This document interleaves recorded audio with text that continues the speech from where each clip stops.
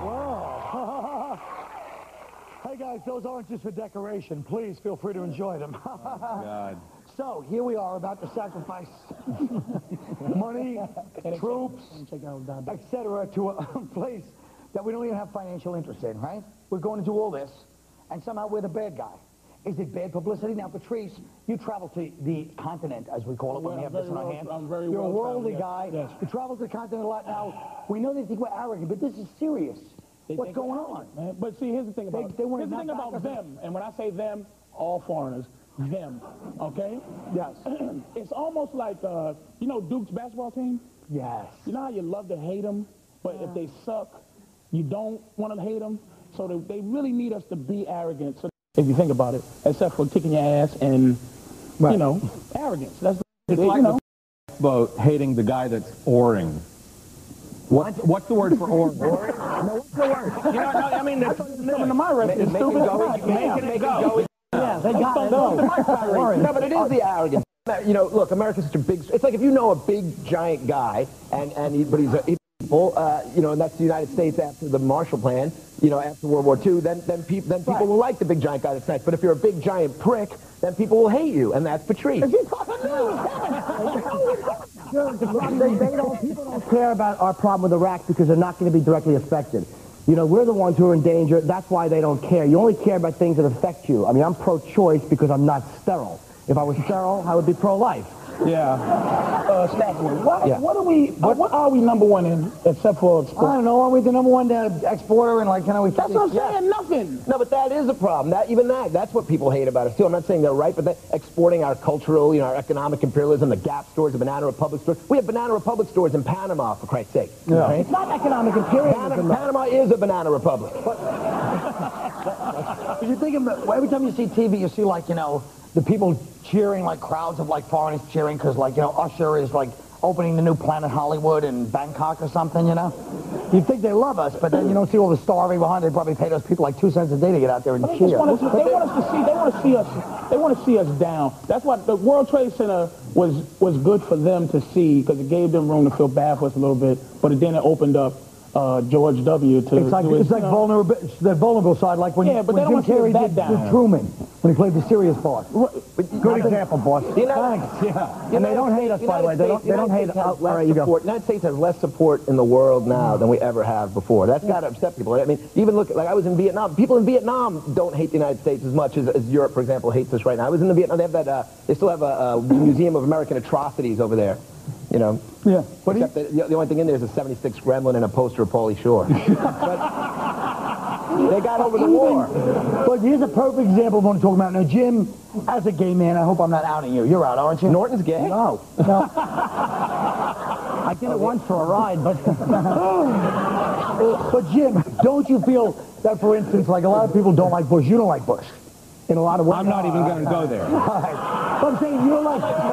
I'm not even going to go there. don't like Bush. That was George, too easy. Uh, George Bush, you're right. Well, no, But no, I, I don't, I don't, I, it's not in my interest to see my president fail. I mean, I, I will, he's my president and I'm going to support him and I don't, you know, but I don't think the axis of evil thing helped. I mean, just think of it from their point of view. I mean, like if you're sitting in, in Iran and you're eating your hummus or whatever the hell you're eating and then all of a sudden this guy comes on TV and says, you're evil and you're going, what, we are evil? Who? We said, they said we are evil? They, you know, perception Not official. Matters. I mean, people hate America for a lot of different reasons, but it's perception. Like he said, the axis of evil speech by George Bush, that affect, you know, he, when he acts like he hates all the rest of the world and doesn't care what they think, that's going to affect us. You know, Bill Clinton went in and, and uh, did a lot of military actions without UN approval, but nobody cared because people respected and thought that Bill Clinton liked Europe. Like the French, you know, the French had no problem with Bill Clinton because he was cheating on his wife and they admire that. But I hate to bring. Oh, Frank is a real pussy. I'm just realizing. I hate he really to- is a scared little man. what do you mean? Why don't you back our president? Why don't you go,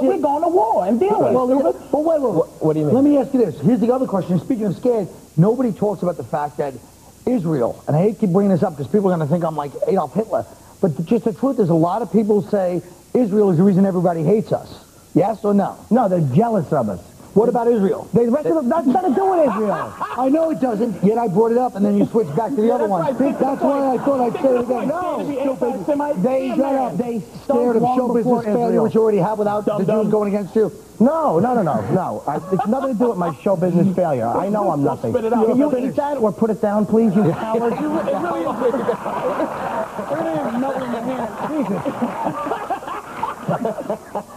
I think the people really don't hate us. They just don't like the people that end up, you know, over there, like, you know, taking the national resources by computer and stuff, while they're in a courtyard watching a donkey get beat up by a couple of one-eyed goats. we'll be right back.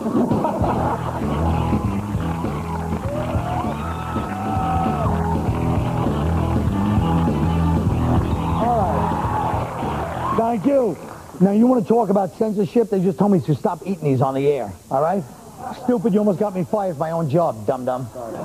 Sorry for yourself, because you'll be out of work too, idiot. Now, they're like, we really don't want it, we'll hang in your teeth. Now, the Oscars are coming up like the Super Bowl. We all get excited about the Oscars, right? It's, it's like the No. Super Bowl. no, you don't like the Oscars? No, Why not? because they stink. Well, okay, why do they stink? Because they're not accurate. They do nothing but give out the wrong awards to the wrong people for the wrong reasons. I see. And, uh, Well, you know what? I totally agree with you on that. Like Nicole Kidman was nominated for an Oscar for The Hours because she wears a fake nose, but it's like, oh, she's really a beautiful woman. I mean, if they were you, but yeah, she was great. But I mean, let's not forget that she's gorgeous. If they were going to really be authentic in that part, they would have cast Danny DeVito. The hours, the hours was it was it should have been called Three Crazy Bitches. That was a frightening film. The Hours was like sitting through menopause. Every scene, If I want to spend that much time with a bunch of miserable women, I'll watch The View. Oh, it drove me crazy. Thank you both. So please don't ruin the ending. Um, I was going to say, oh, good. I- I- First of all, the assignment was for all of us to see all the movies. These sons of bitches did their homework, and you two didn't see it. Look, I knew you weren't going to see it because you were I the only black guy that went to see the hours. What? Who was it about? Was it about any famous people? The hours? yeah. Who? Nicole Kidman. You're truly on a job. No, it was about it was about that stupid uh, Virginia Woolf. Who cares about it? I did see about Kathy Schmidt. Did you see that? Yeah, Oh, no, stunk. she, Pat, Kathy uh, Bates was naked in that. Yeah, Kathy Bates. That's the That the movie last. stunk. It was boring. Oh, I loved it. I thought it was great. Yeah, I love that she's up. They, they keep saying she's brave because she got she got naked. It's like it's like She's you got- know, she's seeing- got balls, Seeing an and we old saw fat them. naked lady was like seeing an old fat naked lady was like seeing Norton's mom at work. Know? I, I know that was too much. No, I'm just saying. I'm just saying. Oh, no, was that, I'm really uh, hurt. I was really. hey, now Jim, let's talk about a movie I know you saw several times. and you probably see some of the outfits probably. What, what, Chicago. what, Chicago? You probably have two of Renee Zellweger's outfits at home. Oh, yeah. What did you think of Chicago? I thought it was great. Thank you. I thought, I thought Chicago was great. It's got it's got murder, it's got beautiful girls, it's got tap dancing, it's got scandal, it's Show got tunes. show tunes. But it's not. It's a. You know what it They is? stuff like Chicago. Chicago. Chicago is a musical for people who hate musicals. No, it's not. It stinks. you didn't see it. Exactly. You didn't see it. Tell you what I saw that does stink. Your performance in Spider-Man, idiot. And you know what was me off? good in Spider-Man, and Yeah, I it was really good in the 25th hour. Shut up, I was going to bring that up next. I was very good. The thing that bothers me about Norton, he had one line in Spider-Man, you could tell it's like, hey, this is just the beginning, like Bronson Pinchot and Beverly Hills Cop. Oh, yeah, he's I'm probably going to leave this in. That was your first and last role in a movie. Shut up. Yeah. Now, you I was terrific. First of all, what did you play in, why don't you tell the people about 25th hour, ladies and gentlemen. Yeah, and what did you play? They probably don't recognize you with Uh, it was a stretch. I played. Uh, Was I it played a doorman, CinemaScope? but it was really it was it was pivotal. Yeah. he was the 26th hour. You'll be in the director's cut. What? Nothing. Great. what do you think? Now, guess, guess what, guys? There's actually something to talk about with the actual Oscars. Now they're saying no red carpet this year out of respect. What do you think about that? To who? For who? There's going to be no red carpet to walk down. Out of respect for what? For the war. I think that's great because I think they should give a special Oscar to whoever gets past Joan Rivers without beating her to death. I want to bash her You face know he's in. happy about no red carpet. He probably has a dress made out of red ribbons. How did you know? Can you leave skinny Jiminy Glick alone? Oh, come on. Leave Don Knotts alone while he's explaining his story. Yeah. Go. Listen, uh, speaking of uh, speaking of pedophiles, speaking of pedophiles, what do you think of the uh, what do you think of the whole thing with uh, uh, what's his name? Roman uh, Polanski. Roman Polanski. He shouldn't be nominated, um, although the fact that he can be a pedophile and still be nominated does give a lot of us hope. Yeah, I can't Well, you know what though? You know Pianist what? is good. The You know what? movie. You know what? He he his mother got killed in the concentration camp, and his wife got killed by the Manson family. Isn't he entitled to a little teenager? you know, I love just that he for ran- one. I love that he That's a I good point. Point. That's love that he ran away to. France. That's just great. Like he rapes a 13-year-old girl and then he runs away to France. the- well, stop with the. with the what? Stop with what? Wait, he didn't. Wait, he, she, she left with him. Like, out. So he raped he raped a 13-year-old ah! girl. Shut up, dummy. Let me get my point let him get his point He he rapes a 13-year-old girl, and then he goes to France. Like in France, it's totally acceptable somehow. It's good because all the men in France look like 13-year-old girls. So like, well, They do. it's really not a problem. Know, The Pianist was a great movie. That was great. the pianist was Did you see good. it? Oh yeah, he, I you saw know, them all. He hid in I did all my these little all these little tiny attics. You know, it would make. That Matrix uh, effects in that movie. That would have been really good. Oh, you love That was awful. that was a good movie, though. I like You might, wanna- you might want to start writing things down. The pianist? Shut up. What? The pianist was good. Look, Did you, just, wait, wait, wait, did you just cover up that bomb by going, no, but seriously, that was a good Yeah, film. of Shut course up. I did. You saw it ate his balls. I'm trying to get out of it. That pianist took a pretty anti-Nazi take on the whole thing, though, don't you think?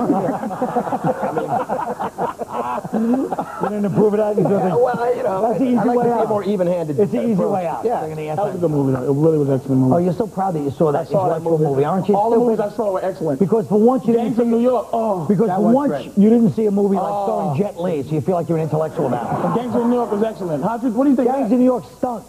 Well, That's what I was, said. it was like Mick Pride. You should have loved that. It was not Mick Pride. The only one was Daniel Day-Lewis. The rest of it was corny. You, That you plot didn't was like, you didn't like that? You didn't like About Schmidt? What do, what do you like? Films with car chases, you jackass? Yeah. About Schmidt? What do, what do you like? Films with car chases, you jackass? Yeah. I like Night at the Roxbury, starring me and Will. That's true. Oh. That never got an Oscar. You know what? I think Colin's movies that he's been in, they had a grand total of $4,600 at the box office. Colin Colin was in Married to the Mob, which they Thank shot. you. They shot that in my apartment. Did they? That was your apartment? Yeah, it was my apartment. Oh, so yeah, that's why I got kicked out. I was wondering what that uh, swing was in the bedroom. And, uh, Yeah, that was mine. Did you enjoy it? well, uh-huh.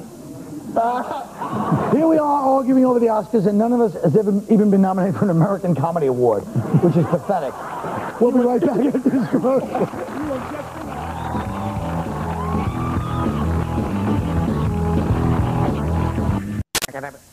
Is it true? I'm not sure. From what I've seen, drugs fund things like two pit bulls in the back of a low-riding gold Lexus. but they say that if you buy some heroin, then you're giving money to a drug dealer who gives it to an opium cartel in Afghanistan, who gives weapons and money to Al-Qaeda. But let's take a closer look at this. Tonight, with the help of my beautiful assistant, Jim,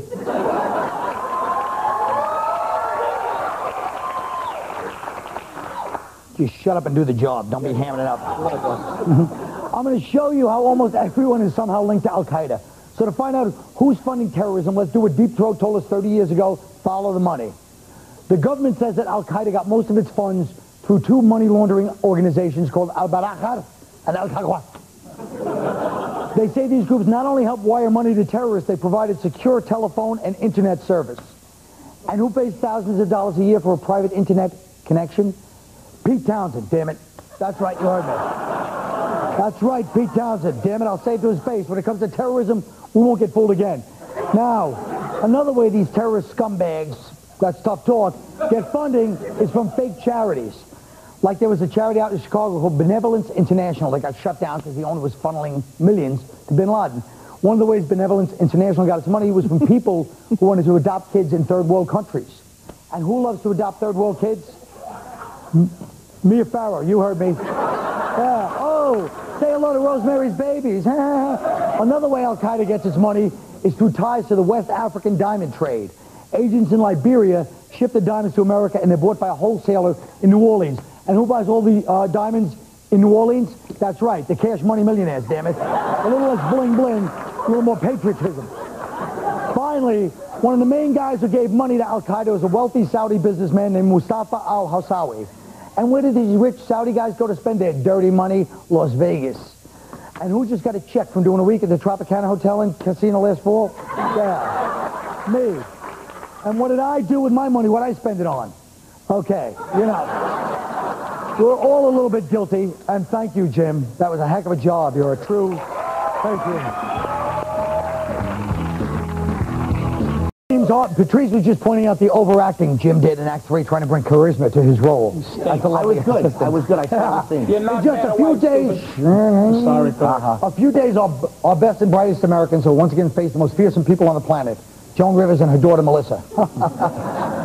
I knew that. I've asked these guys to pretend the impossible has happened and give their Oscar acceptance speech. Let's start with Greg. Oh my God, this moment is so much bigger than me. This moment is for Emilio Estevez, Freddie Prinze Jr., and Lorenzo Lamas. It's for every nameless, faceless, assimilated white Latino guy who, who now has a chance because this door tonight has been opened. I stand on the shoulders of giants before me. Lorenzo Lamas' early work in Grease and later in Snake Eater 2. And, and of course, Emilio Estevez in the Mighty Ducks trilogy and that Garbage Man movie. Guys, this is for you. Muchísimas gracias. Ah, beautiful. All right. Jim Norton. Uh, well, first and foremost, I'd like to thank the older gentleman who made me kiss his dinky when I was seven years old, which not only made me hate myself so much that I had no choice but to beg and grovel for love by entertaining, but it also showed me exactly what I'd have to do to get ahead in Hollywood. And uh, most importantly, I'd like to thank people like Alec Baldwin and Janeane Garofalo for proving that you can have a great career even if you lack any talent just by standing on a soapbox, babbling melodramatically, and making a total ass out of yourself on television day after day. Ooh, Patricio. Ooh, Patrice O'Neal. First of all, I'd like to thank my fellow nominees, Greg Giraldo for uh, his role in Obscurity. I was on Conan 14 times in the Letterman, but no one still knows me. Uh, Jim Davis for his inspired performance in Gobble Gobble, the Frank Perdue story. How he actually tried to look like Frank Perdue for his role. And Jim Norton in his wonderful performance in I Was a Teenage Were Clam as he turns into a mullet right before your eyes. And uh, to my ex-girlfriend for believing I, if I became famous after we split up, I'd still buy her house, whatever. And, and my mom. Jim David.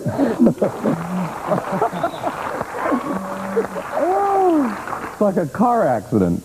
All right. I have a thousand people to thank, so I'll be brief. To the guys who beat me up in high school, may your life be an endless parade of child support and restraining orders. to the priests in my Catholic school, may your prison time pass quickly. And to my acting teacher who said I would never make it and who's been in the closet longer than a Nehru jacket, I say, sit on this, you old queen. All right. Jim, Jim was giving a real speech. He really was. I'd like to thank the Academy for my early roles in movies like Married to the Mob, where Matthew Modine made a joke about my voice, and I wanted to stab him. I was like a, a glorified extra. He's like, hey, that guy really does sound like that. Three Men and a Baby, where Tom Selleck yelled at me for not rehearsing with him.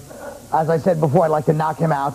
And one time, I auditioned for Cocktail with Tom Cruise, and I was auditioning to be a bartender, and I pretended to be making uh, an imaginary drink. And one of the producers goes, you don't have to do that. And Tom, I look at Tom like humiliated, and he goes, shrugs his shoulders like, what, Tom, you have no power? You're like a giant star at that time. I don't know what to do. Yeah, you don't know you're Tom Cruise. You can't tell the guy shut his mouth. This guy's trying to do a little pantomime work. So, I mean, that's about the end of it. I'm not going to jump on that other one. And uh, I got plenty more. Folks, if you have any comments or thoughts about this show, please visit the Comedy Central website and go to the Tough Crowd message board. Good night.